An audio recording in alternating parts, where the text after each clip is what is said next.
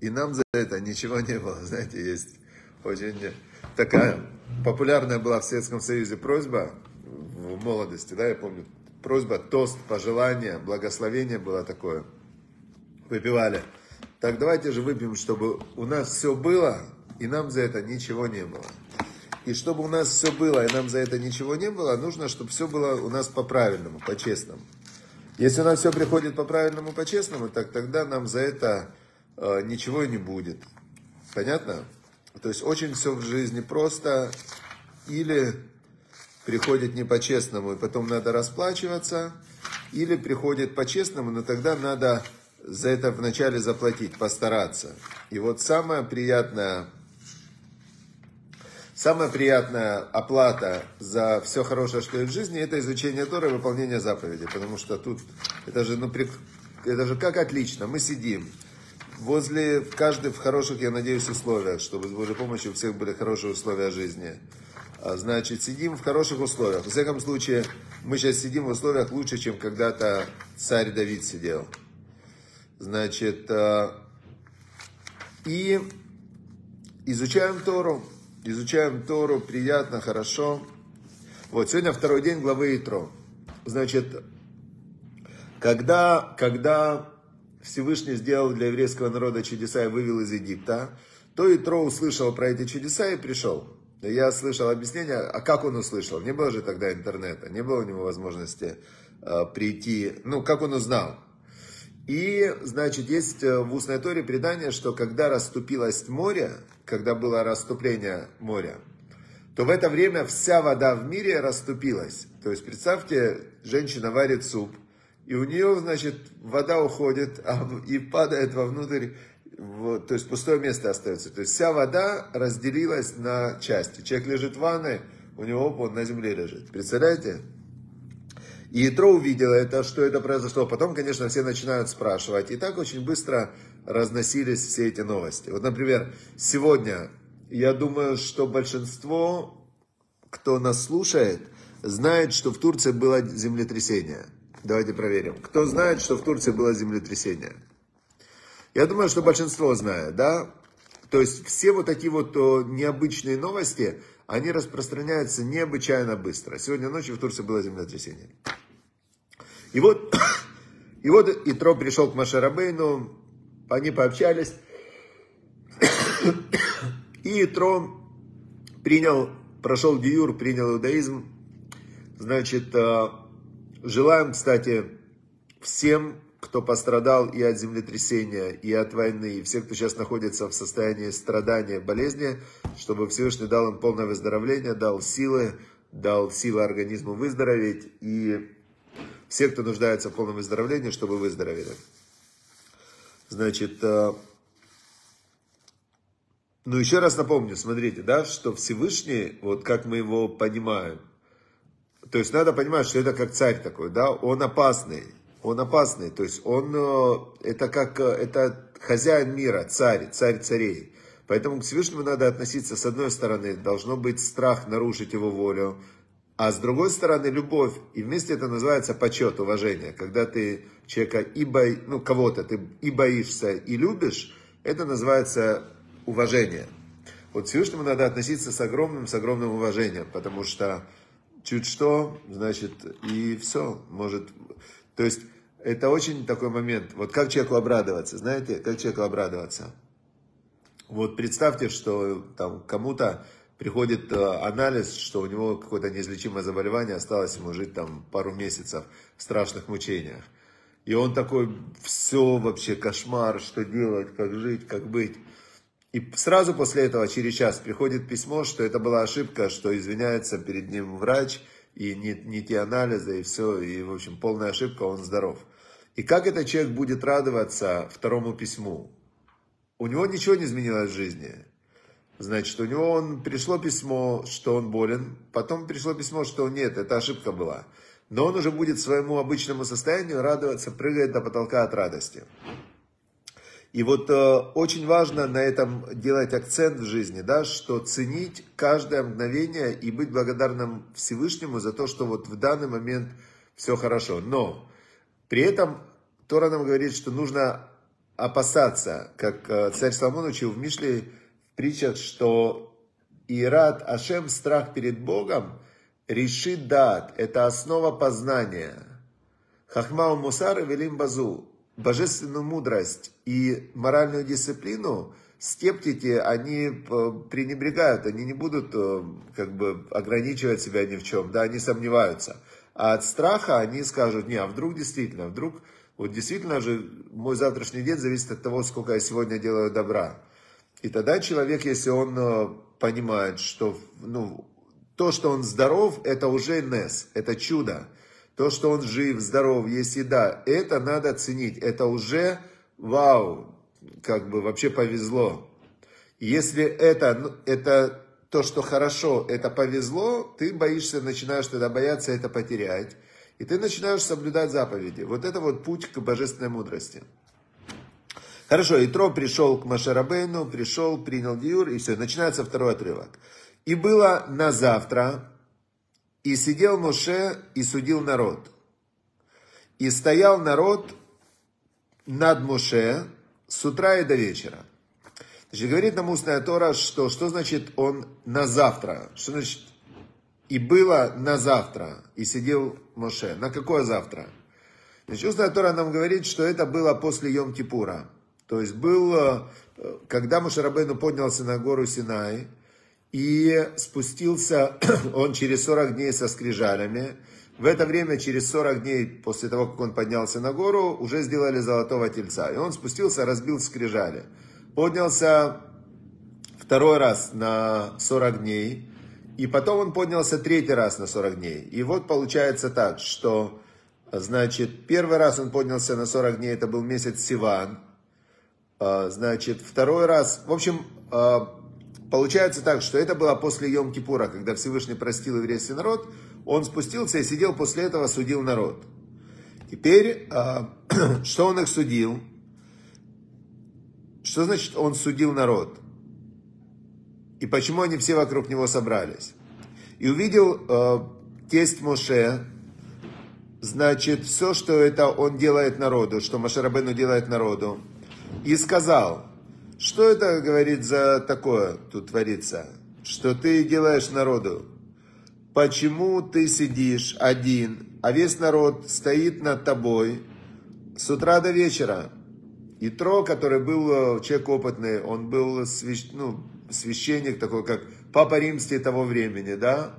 Он Машарабейну видит, сидит Машарабейну, вокруг него стоит тысяча человек. И он, значит, э, им отвечает на вопросы.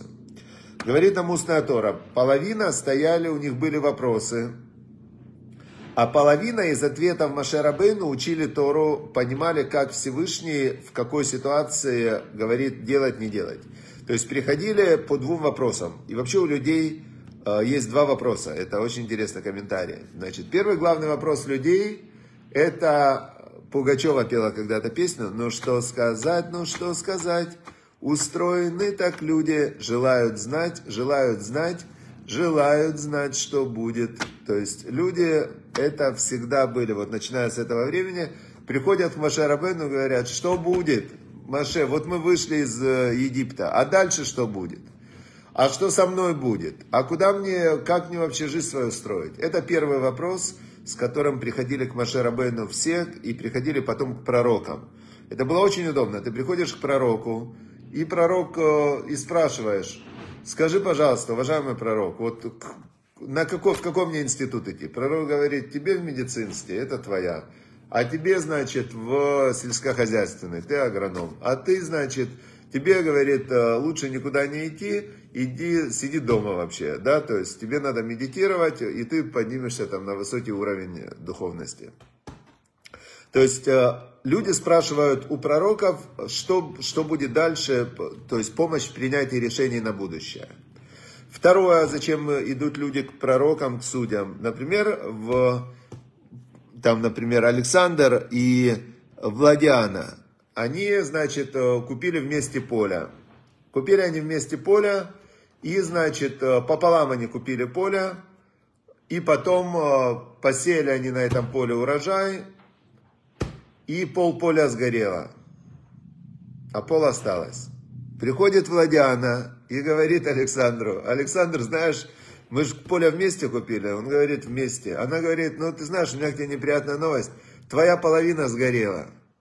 Он говорит, а чем моя сгорела? Может, твоя сгорела? А может, это наша общая половина сгорела, а вторая половина, а, значит, она осталась э, у нас на двоих. А Владяна говорит, Левицкая, не-не-не, говорит, это, это однозначно, потому что я, когда поле мы покупали, я вот для себя решила, что слева это моя часть, а справа твоя. Он говорит, ну мало ли ты решила а, документ. В общем, люди спорят между собой по разным вопросам, по деньгам, по, э, например, забор. Стоит забор, да, между соседями. Забор упал. Упал забор. Один говорит, э, ну что, сосед, нам надо забор ставить. А второй говорит, а что нам надо? Мне вообще не надо, мне без забора лучше, мне вид хороший, я, мне скрывать нечего. Тебе нужен забор, ты ставь. Вопрос? Вопрос. И все собрались э, к Маше Рабейну с разными вопросами такими, да? Значит, а Итро ему говорит, зачем ты сидишь с утра до ночи? И сказал Муше своему тестю, Кияво Илай, потому что приходит ко мне народ, Лидрош Элоим, а, приходит народ спрашивать всесильного. Они хотели уже, как Бог скажет. Не так, что а, как тебе кажется. Вот вчера у меня был а, один человек, ну, такой он помогает Ваикре, один из спонсоров Ваикра, и мы с ним долго разговаривали, и он говорит такую вещь. Он говорит, вот я не понимаю вас религиозных, таких, которые сильно религиозные.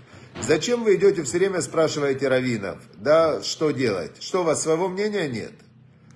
А я ему говорю, смотри, если я полагаюсь на свое мнение, то просто на свое мнение, то я не знаю, это же мне кажется, что это мое мнение. А это набор каких-то сиюминутных желаний, каких-то из опыта каких-то событий. То есть у меня очень такое калейдоскоп внутри, да, при принятии решений.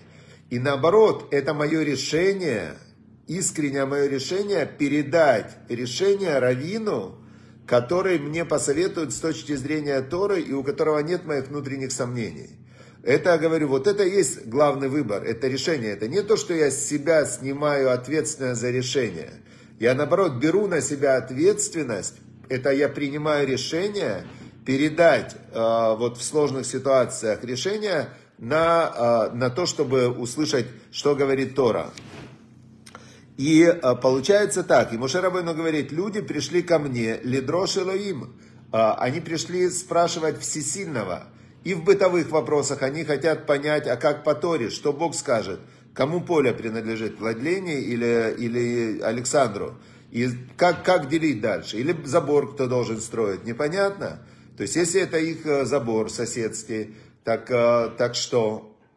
То есть, это все вопросы, которые в Торе, в Торе они указаны. То есть, Всевышний, когда он сказал «не воруй», или там он сказал «не грабь», он точно разъяснил, где лежит граница между ограбил и украл, а где нет, и как можно, как нельзя, что делать, что не делать и так далее.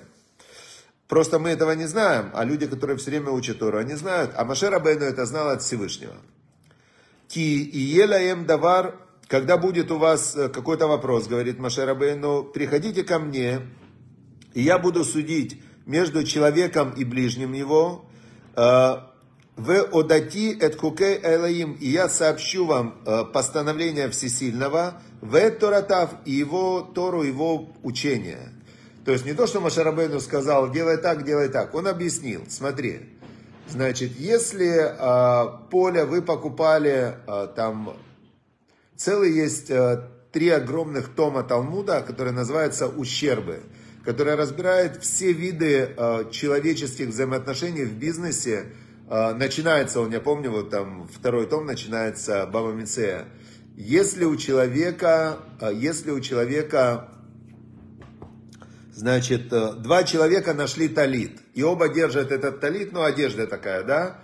И пришли они к судьям. Один говорит, я нашел, второй говорит, это я нашел. Один говорит, это весь талит мой, второй говорит, это весь талит мой.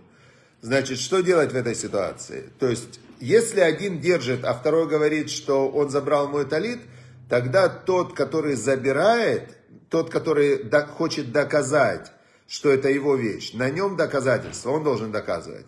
То есть, если я подойду и скажу, например, скажу, что Леся Стрелецкая э, у меня забрала телефон, то я должен доказать, не Леся должна доказывать, что это ее телефон, а я должен доказать, что ее телефон это мой. То есть тот, кто хочет забрать у человека, он должен доказать, что это э, на нем доказательство, что это его вещь. В общем, там целая-целая система такая есть. Э, и Моше Рабену говорит, когда они ко мне приходят, что мы не просто я говорю, какой суд здесь, да, а я конкретно говорю, какой суд, и объясняю, почему. Это Тора учения Всевышнего. И сказал тесть Моше ему, Ло това давар ашаратасе, нехорошо то, что ты делаешь, сказал Итро. Наволь боль э, гамата гамам, то есть э, ты э, устанешь, и народ устанет, потому что их же 600 тысяч, это один, как можно? Кикавет мирха давар. Очень тяжелая эта вещь, которую ты взвалил на себя. Не сможешь ты сделать это один. И теперь он описывает, какая должна власть. Вот теперь смотрите, можно прям записать, на следующие выборы пойдете, сверяйтесь с этим списком. Ата шмаба кули, сказал ему Итро, теперь послушай мой голос. Яцха Веей Элоим и Мох. Я тебе сейчас посоветую, а Всесильный будет с тобой. Он говорит, я тебя уверяю, Всесильный подтвердит мой совет. Это как раз ответ, а, почему есть какие-то вещи в других системах, там, которые похожи на Тору. Потому что с ним, как бы человек, вот Исаак Ньютон открыл закон, а, закон, например, всемирного тяготения. Открыл. А мог его открыть, а, если бы Исаак Ньютон не открыл, мог его открыть какой-нибудь другой там Исаак или какой-нибудь другой Ньютон? Мог, потому что закон он есть. И за этим законом просто нужно было быть пронаблюдать, что-то там подумать, и можно было бы догадаться до этого закона, э, то есть мог любой догадаться, кроме не только Исаак Ньютон. И э, мудрость, она есть у народов мира, у всех есть одна и та же мудрость. То есть увидеть и догадаться и понять, как работает мир, может любой. Но в чем разница между Торой и вот этим взглядом? Тора была дана сверху. Это как чертеж от того, кто создал мир. То есть, и он, если ты снизу наблюдаешь, как устроена какая-то вещь, то ты можешь ошибиться. Ты можешь предположить что-то, ты можешь э, легко ошибиться. Теперь, но если э, у тебя есть полностью чертежи того, кто эту вещь спроектировал и сделал, то там ошибки быть не может. Поэтому Тора, она тем и отличается от других систем, что это проект мироздания от того, кто это мироздание сотворил, который был получен через пророков. И потом мудрецы, когда пророчество исчезло, они это знание а, продолжали изучать, изучать, изучать, изучать. И Талмуд это уже полный расклад, как работает весь этот мир.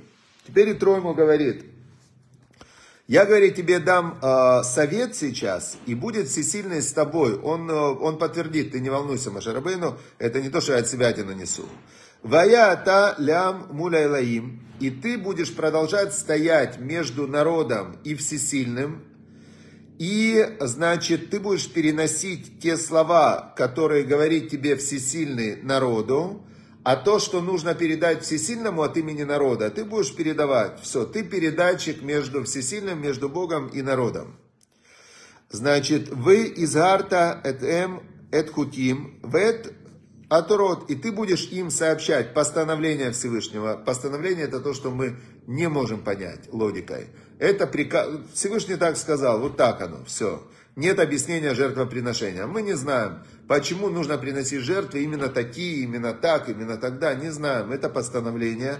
Мы не знаем шаббат. Это можно рассказывать, что нет, это день отдыха, день отдыха нужен. Не факт. Почему каждый седьмой день? Почему не каждый пятый или не каждый второй день? Можно день работать, день отдыхать, день работать, день отдыхать, если день отдыха нужен.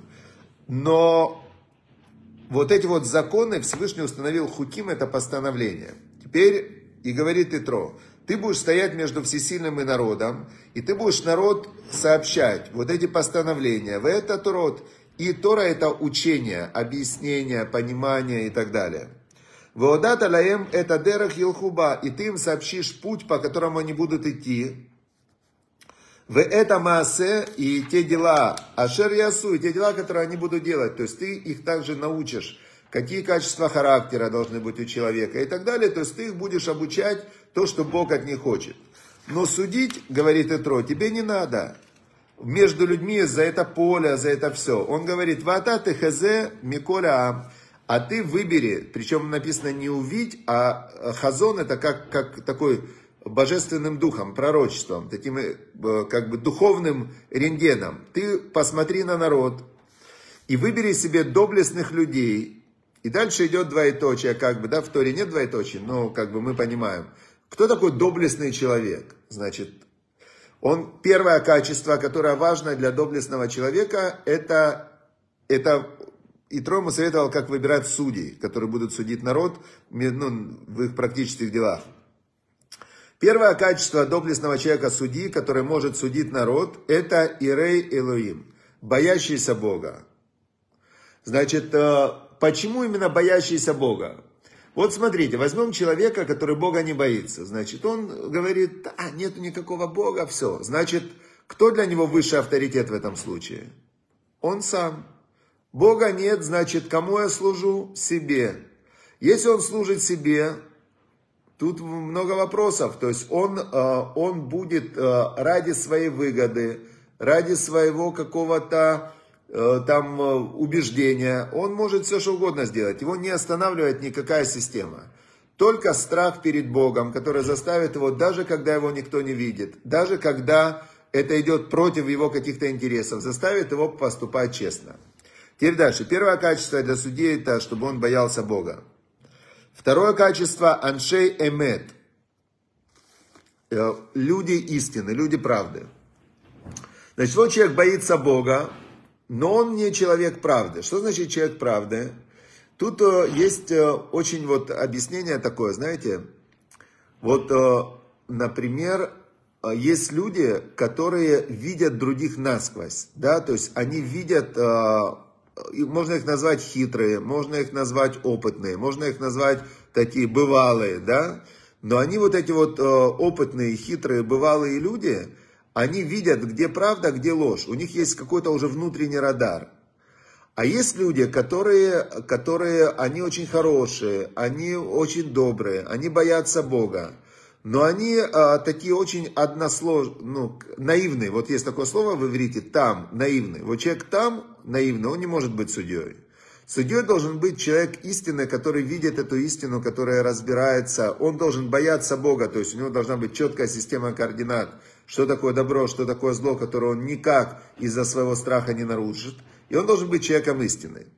И третье качество, очень удивительное для судей. Вы знаете, вот по этому качеству, я думаю, что большинство современных судей не прошли бы вот это вот э, у Итро э, комиссию. Знаете как, если бы Итро и Машарбену их брали бы на комиссию, они бы не прошли. Третье качество называется соней беца, э, ненавидящие наживу. Я в нашем поколении, я не помню, ну, может быть, есть, наверняка есть какие-то люди, которые ненавидят наживу. Но я помню еще то поколение, которое было там э, Гольда Мейер, Бенгурион, вот эти все основатели Израиля, они были такие социалисты, которые Гольда Мейер, я лично встречал э, человека, который был ее охранник. Он говорит, она жила вот двухкомнатная квартирка, кухня, и она мне каждый вечер сама лично делала бутерброд и чай охраннику на кухне. То есть она была, Гольда Мэр, она была премьер-министр Израиля, но у нее не было никакого имущества. Она жила в вот такой маленькой квартирке, на кухне у нее были все эти собрания. То есть раньше руководители государства, они были, Суней Бетса, они ненавидели наживу, то есть они были идеалистами такими, да. И вот он говорит, для судьи это очень важно, потому что если он э, любит наживу, его по-любому подкупят. То есть тут э, это, это обязательно, да, то есть, э, ну, в, даже в Талмуде разбирается такой момент, что был, э, один был судья, Раби Йоханан, и у него был арендатор, который этот арендатор ему, ему, значит, э, приносил, он ему давал поле в аренду. Этот арендатор приносил ему каждый, там, э, каждый, по-моему, не помню, среду, например, да, он ему приносил за неделю деньги, арендную плату. И как-то ему арендатор говорит, вы знаете, я вам следующую, в следующую неделю принесу не в среду, а, а в понедельник деньги, да, заранее. Потому что у меня есть суд там с человеком. И я как раз, а этот Рабьеханан был судья. И я к вам приду на суд, И, значит, э, ну, как раз по понедельникам суд, и вы нам скажете, кто из нас прав, кто виноват. Раби Йоханан ему говорит, знаешь, говорит, я не буду тебя судить, я не могу тебя судить. Он говорит, почему? Потому что ты, ты же мне аренду платишь. Он говорит, так я же вам плачу аренду, все по-честному, ну, плачу аренду, чего? Почему вы должны ко мне лучше относиться? Он говорит, нет, ты же мне на два дня раньше принесешь аренду. А если ты мне на два дня раньше принесешь аренду, я уже не смогу тебя честно судить. То есть это по-любому. И, значит, он, э, он сказал, тебя будет судить другой судья, чтобы было все честно.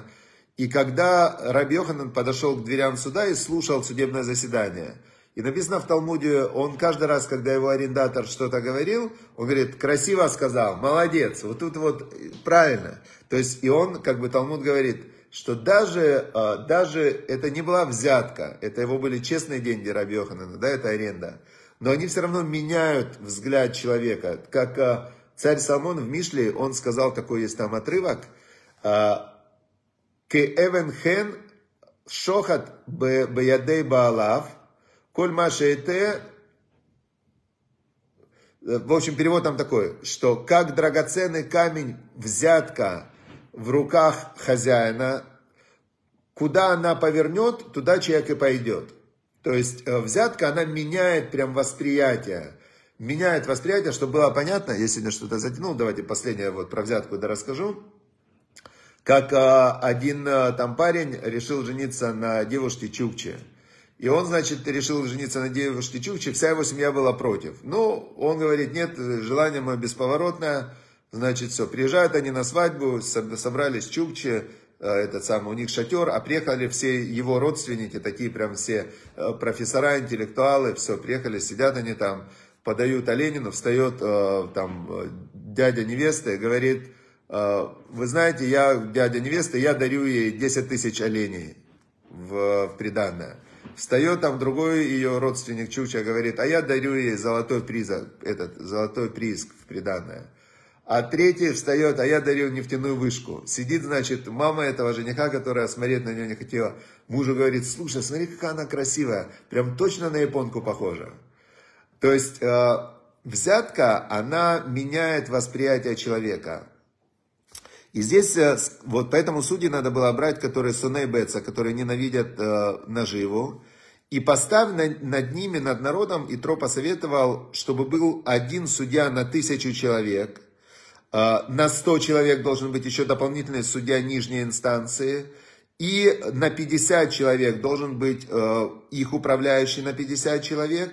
И на десятку должен быть еще десятник. И если идет какой-то спор в десятке, он, он разруливает этот десятник. Если все нормально, то хорошо. Если они не согласны, идет выше. Не согласны, идет выше. Так до тысячника. Если тысячник, они тоже не согласны, значит идет уже в высшую инстанцию к Маше.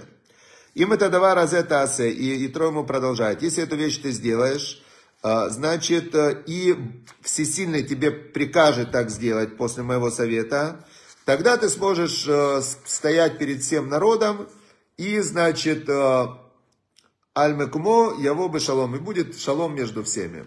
Это то, что посоветовал Итро Маше Рабейну. Значит, э, очень важно, чтобы у нас был справедливый суд. Для, есть семь заповедей для народов мира, которые получил Ноах. То есть после потопа Всевышний дал Ноаху семь заповедей. Из семи заповедей шесть запрещающих и одна повелевающая. И если выполнять будет мир эту заповедь, одну повелевающую заповедь, то тогда в мире будет просто рай. Вот если большинство людей одну заповедь будут выполнять, Бог всего одну им сказал. Знаете, какую? делайте справедливый суд. Справедливый суд. Должно быть честно. Суд один для всех, одинаковые законы, справедливо. Если бы в мире был справедливый суд, не было бы землетрясений, не было бы войн. Если бы было все по-честному, одинаково для всех, э, по законам божественным, которые Бог сказал, что такое добро, что такое зло, был бы рай на земле. Не было бы войн, не было бы болезней, не было бы землетрясений, эпидемий. Ничего бы этого не было. Все это последствия того, что человечество, люди, страны, они начинают грешить, идут против Бога, нарушают, и бумерангом все возвращается в та мера, которую человек меряет, меряют ему, И та мера, которая страна меряет, то есть все, что происходит, кстати, интересно, в устной торе говорится, что войны приходят за несправедливый суд. И действительно, когда в убийц отпускают на волю, когда насильников отпускают на волю, когда там чиновники избивают э, людей, их ничего им за это не бывает и так далее, то взятки, опять же, и так далее, то все это несправедливость, которая накапливается, накапливается, накапливается, и потом все попадают под раздачу конкретно. Все, дорогие друзья, я в заслугу того, что мы учим Тору и молимся Всевышнему, и стараемся, прям просим Всевышнего, чтобы действовать всегда честно, чтобы Всевышний дал всем нам, всем, кто друзья Ваикра, партнеры Ваикра, спонсоры Ваикра, ученики Ваикра, чтобы все мы, кто учит Тору, искренне хочет жить по божественным заповедям, чтобы Всевышний дал нам полное, полное благословение во всех хороших делах, кому надо выздоровление, и чтобы закончилась война, чтобы не, не умирали невинные люди, чтобы злодеи, которые захватили власть и э, инициировали эту войну, чтобы конкретно, знаем, про какого злодея идет речь, который инициировал эту войну, чтобы быстрее, э, значит, он или раскаялся, такое тоже бывает, и просто вышел бы и сказал бы, все, значит, войска российские возвращаются в Россию, Украина пусть идет своим путем, живет своим путем, Америка живет своим путем и нормально, Америка ни с тем не воюет, ни с Канадой она не воюет, ни с Мексикой не воюет, ни с тем она не воюет, пускай Америка своим путем, Европа своим путем, Украина своим путем, Китай своим путем, Россия своим путем. И все между другом могут э, дружить, как было всего лишь пять лет назад, летали друг к другу. То есть до ковидный мир, когда уже все стремилось к глобализации, все было свободно. И вдруг сейчас вообще весь мир на грани войны. Все, давайте молиться, чтобы был мир, чтобы война закончилась прямо сегодня. Все, всем удачи успехов. До завтра.